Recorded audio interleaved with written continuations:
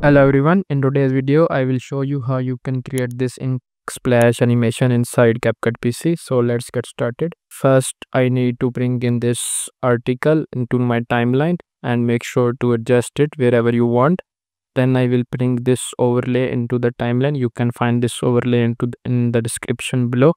And these are two so I will just select the first one and make sure to cut all these if you want to make this more slow or you want to extend this and extend this too but this won't extend.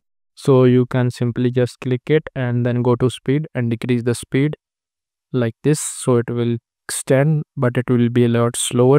So i will make sure to just keep it right here. Now once this is done i will just bring in a red background. You can bring any background you want like this. And then i will just go to blend mode and link the blend mode to screen. It will be like this. Then select both background and the ink splash overlay and then right click and make it a compound clip. Like this. Now just go to remove bg chroma key and select the white color like this.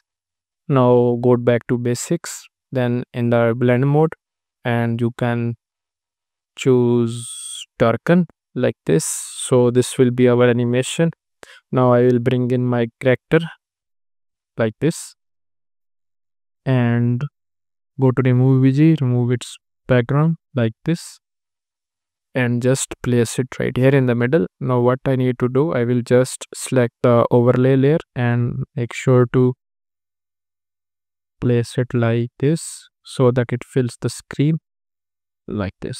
So at the start it will be like this. If you it's not looking good, just make it down and you can choose this as well now if you want to make this more documentary type you can go to effects and then apply a dark night effect to this layer and then adjust its settings or you can just copy mine like this and then again apply this to this layer as well. Then just simply decrease these things filter textures according to your video. And as you can see your video is good to go now if you want you can also add some sound effect. Now I will just go to CapCut library sound effects and then impact like this. I will just simply make sure to drag it here and now you can see our animation will be looking like this So if you found this tutorial helpful, make sure to like and subscribe to my channel for more amazing content like this and I will see you in the next one. Until then, take care and bye.